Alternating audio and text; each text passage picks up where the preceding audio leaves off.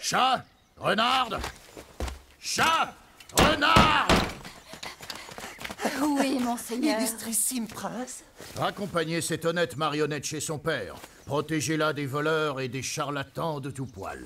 Je m'en vais lui faire cadeau de ces cinq pièces d'or et il me déplairait fort que quelqu'un les lui Vous dérobe. êtes trop bon.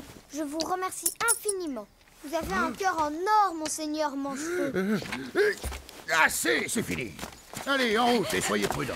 Patron, vos désirs sont désordres.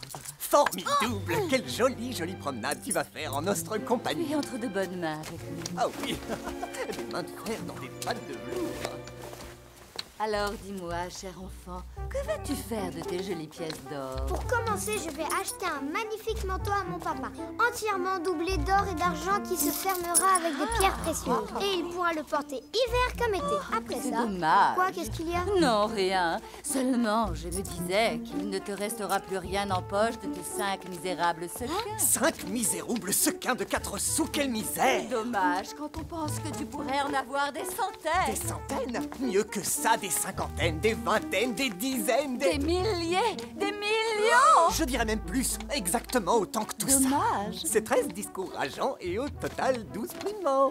Alors, comment je pourrais avoir plus de pièces d'or? Oh, le pigeon a mordu à l'hameçon. Bien, c'est diaboliquement simple. Dans la ville d'Atrapnigo, il y a une prairie magique connue sous le nom de Champ des Miracles. On y fait des Si miracles quelqu'un excavationne dans le sol un petit trou et qu'au fond du trou en question, il plantationne ses pièces d'or et que cet agroalimentaire arrosa abondationneusement d'eau, Le lendemain, il retrouvera à l'endroit même un arbre aux branches couvertes de pièces d'or. Dites, vous voulez bien m'emmener dans ce champ miraculeux, s'il vous plaît? Toi? Avec, Avec plaisir.